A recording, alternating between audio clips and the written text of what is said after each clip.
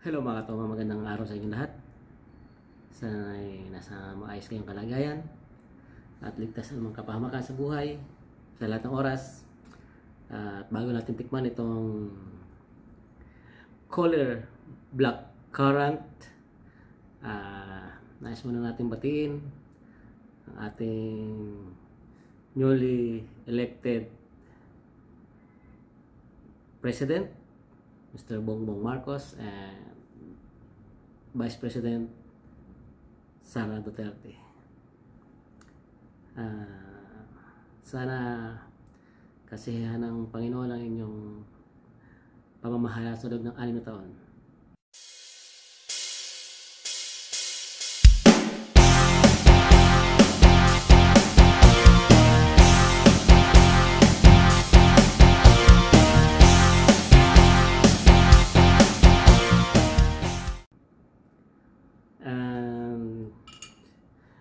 Ito yung ating tatagayin ngayong gabing ito.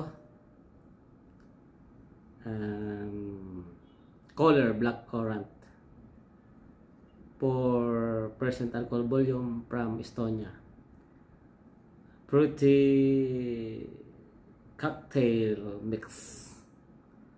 So, ah siguro matamis. Ah, sa palagi natin matamis. Kulay pa lang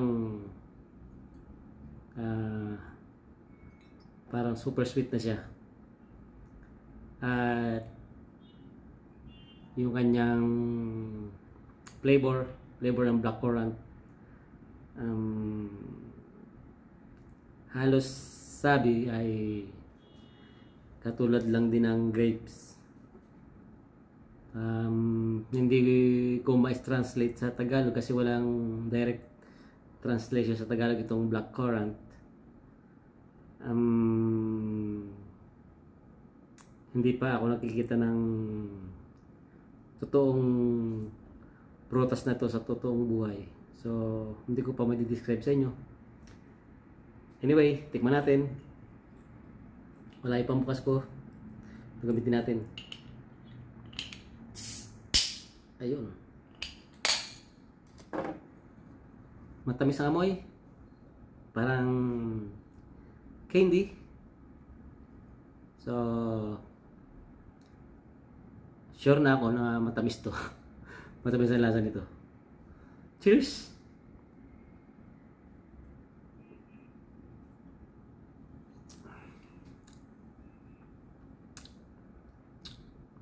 Okay.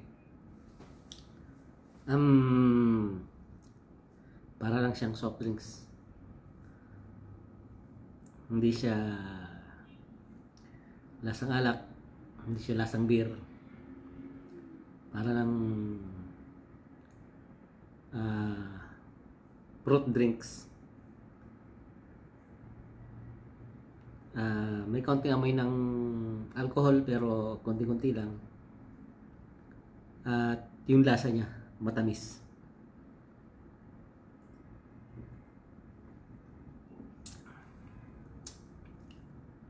Walang pait. May konting asim sa dulo. Suabe. Masarap ang blackcurrant. Ito ay made from Estonia. Ah, parting Europe. Yan. Kung hindi tayo, kung hindi tayo nagkakamali. Estonia. Saan ba yan? Katabi niya na ay Latvia. Ah, basta part siya ng ah, Europe.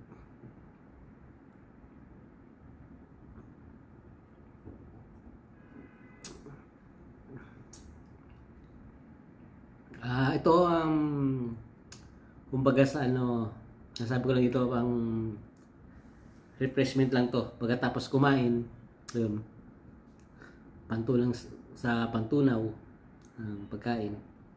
At um, maganda raw ito sa mga vegetarian. Kasi mababa ang calorie at saka yung mga ibang ingredients ito, yung lactose, um, in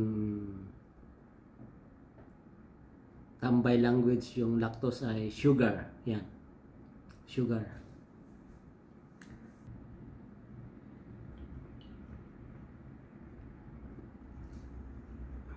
At muli, paalala ng channel na to, drink moderately, drink responsibly. Please, don't drink and drive. At muli, uh, pinapabot natin ang ating congratulations sa ating newly elected uh, president, vice president, mga senador, um, congressman, at sa iba pang mga lokal na mga kandidato na nanalo. At sa mga natalo po, uh, better luck next time. May susunod pa. So, huwag kayong mawawala ng pag-asa. Bye-bye.